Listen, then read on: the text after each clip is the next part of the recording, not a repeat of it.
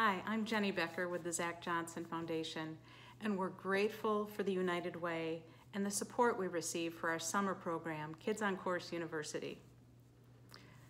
The global pandemic, combined with the derecho, have hit our community in ways we could not imagine. Those two events have been particularly hard on the kids and families that we serve in our program.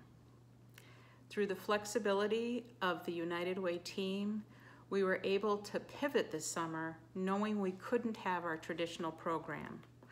That pivot involved setting up meal sites at nine elementary schools in the Cedar Rapids area and our staff and in partnership with the Cedar Rapids Community School District was able to serve 200,000 meals this summer. As we continue on this long road to recovery and try to find some sense of normal, we're grateful for the supporters and the staff at the United Way and all you do to make our community a better place. Thank you.